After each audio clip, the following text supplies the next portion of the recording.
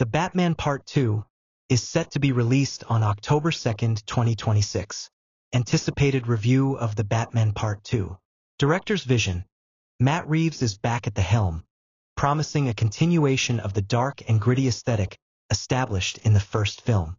His approach emphasizes Batman's emotional journey and the complexities of Gotham City, avoiding the pitfall of letting villains overshadow the hero. The sequel is expected to deepen the narrative established in the Batman 2022, while maintaining its noir-like atmosphere. Character development. Robert Pattinson's portrayal of Batman will evolve, particularly as he deals with the fallout from the first film and the emerging threats in Gotham. Speculation suggests that the sequel will explore Bruce Wayne's dual identity more extensively, as he embraces his role as both a vigilante and a wealthy socialite. Villains and storyline.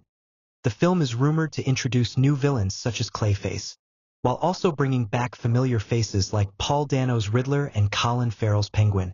The dynamics between these characters will likely play a crucial role in the plot, with potential storylines connecting to the upcoming Penguin series on HBO Max.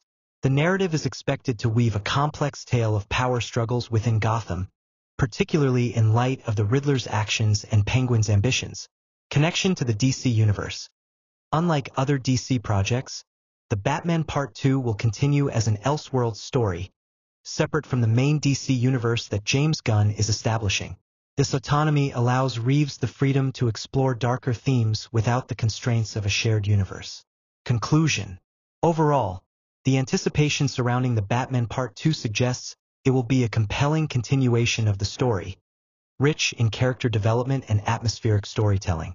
Fans are eager to see how Matt Reeves expands on the themes of justice and identity introduced in the first film.